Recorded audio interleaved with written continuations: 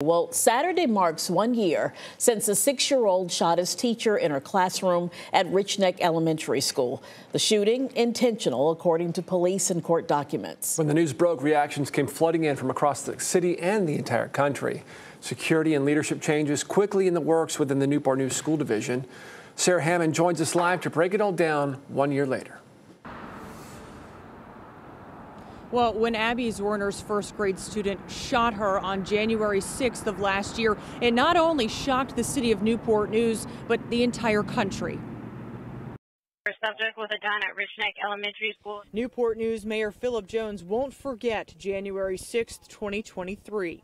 I had 12 missed calls on both of my phones. I called back immediately and realized, you know, this is going to be um, a day for our city.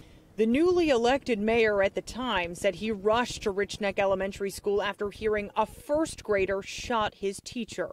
You, at that point, had not even been sworn in yet. I think uh, an incident like Richneck makes everyone come together faster. U.S. Senator Tim Kaine recalls meeting with family members in the weeks following the shooting. Thank God the teacher was not killed, but it, the, the level of fear that people had about coming to school and dropping their kid off was, was really palpable. Since that day, division leaders have made several changes. The school board voted to remove Superintendent Dr. George Parker and replace him with Dr. Michelle Mitchell.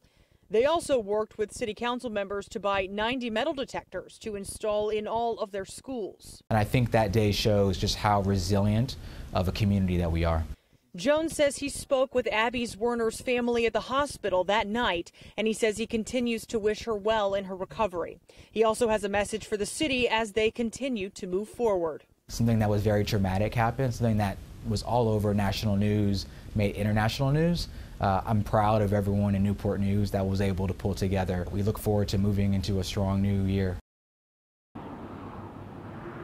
We reached out to administrators with the school division and all of the school board members to hear from them one year later. We did not hear back from the vast majority, but school board member Douglas Brown did say he declined to speak due to the ongoing litigation. Live in Newport News, Sarah Hammond for 13 News Now.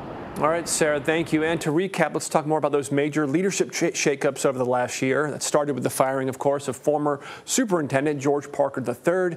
He was fired less than a month after Abby's Zwerner was shot the school board voting to have Dr. Michelle Mitchell take over as interim superintendent. She signed on permanently for the role in July. And the assistant principal, Dr. Ebony Parker, she resigned not long after the shooting. Parker is accused of ignoring multiple reports that the six-year-old boy had a gun with him at school. And the school's principal, uh, Brianna Foster Newton, was not on school grounds that day. She took on a different role within the school division. Now, in response to the shooting, the school division also hiring extra hands, Mark Stewart taking on a new role as Executive Director of Crisis Planning and Prevention. Um, we also have got our policies that are going to be more proactive, much more proactive for the officers. They're not going to just sit back and wait for something to happen. They're going to be out there preventing things from happening.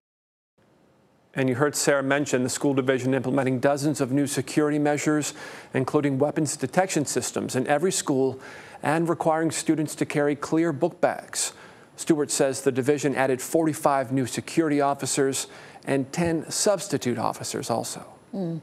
And throughout the Richneck ordeal, Abby Zwerner, the now former teacher who was shot, says she trusts the justice system. Mentally and physically, she says it's been a tough road and she is still working on her recovery. Legally, there have been a lot of ups and downs. And although she won't speak about the boy and his family, she says this.